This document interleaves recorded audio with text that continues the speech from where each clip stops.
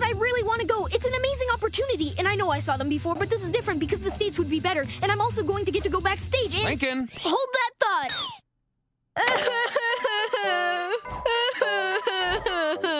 Lincoln, it doesn't matter how you ask us, the answer is no. We'd love to get you the ticket, but we're out of money. We gave it all to your sisters. Maybe if you'd asked us earlier in the day.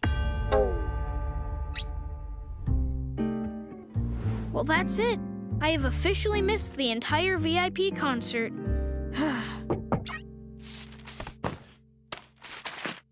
VIB, very important brother?